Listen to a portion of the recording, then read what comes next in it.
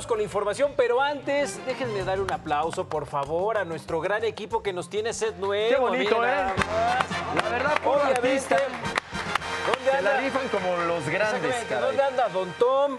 El buen Eric, Jorge, Emanuel y por supuesto todos comandados por Rodrigo. Ahí está. No, no, no, la verdad, qué, gran trabajo. Yo sí los, yo sí los felicito porque son Y también este, muy creativos, muy no, o sea, creativos. dicen que hasta Lechuga. Lechuga era el que decía, mire, No, Lechuga no hizo nada.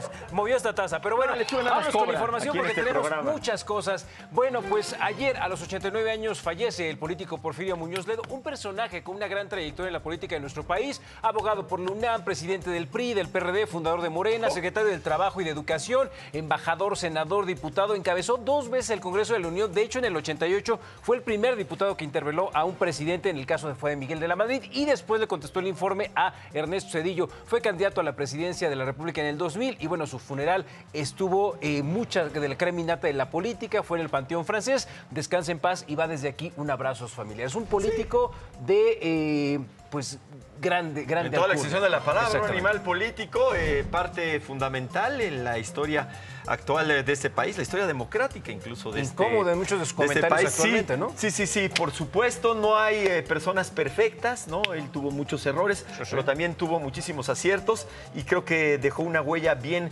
bien importante en la, la historia contemporánea de, Me- de nuestro la México. Constitución al centavo. No, no, no, no, no. Pero Un bueno, politicazo. Se fue. Eso sí. Vamos ahora con otras noticias porque déjenme comentarles qué está pasando con las corcholatas. Le cuento que el aspirante a la presidencia Manuel Velasco estuvo en Palenque, Chiapas, en donde encabezó una asamblea informativa ante más de 25 mil simpatizantes. El senador con licencia llamó a la ciudadanía a defender lo construido por la 4T y afirmó que ya es tiempo de que haya un presidente chiapaneco. Por otra parte, el aspirante a la candidatura presidencial, Claudio Sheinbaum, visitó Aguascalientes y Jalisco, en donde afirmó que la unidad de Morena debe prevalecer ante el proceso interno de selección. Platicó con nuestra compañera Yuridia Sierra, aquí parte de la charla. Claudia Sheinbaum tuvo actividad este fin de semana. Estuvo en Aguascalientes y Jalisco. Nos lanzamos a su primera asamblea informativa. Sí, la verdad es que nos ha ido muy bien en todo el país.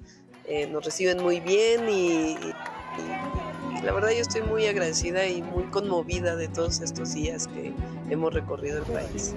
Claudia Sheinbaum lleva tres semanas recorriendo el país y ya lleva 18 estados recorridos. Es tiempo de las mujeres. Es tiempo de las mujeres. Sí lo digo así, sí lo creo, porque eh, por esto que te digo, que eh, eh, pues no solamente es un tema en donde hay que empoderar a las mujeres, sino que las mujeres estamos empoderadas. Pero hay dos mujeres Hay anotadas. dos mujeres. Una de ellas, eh, Xochitl Galvez, que ha sido, ha generado un momentum, ¿no? Este, eh, y, y ya veremos también cómo crece su candidatura. Tiro entre mujeres, seguramente no lo vamos a volver a ver en nuestro tiempo de vida. Yo llevo un rato arriba en las encuestas. Y del otro lado, pues lo que dijeron es tenemos que poner una mujer. ¿Qué ley de la física te ha sido útil? A ver, la tercera ley de Newton dice que a toda acción una reacción de la misma magnitud, pero en sentido contrario.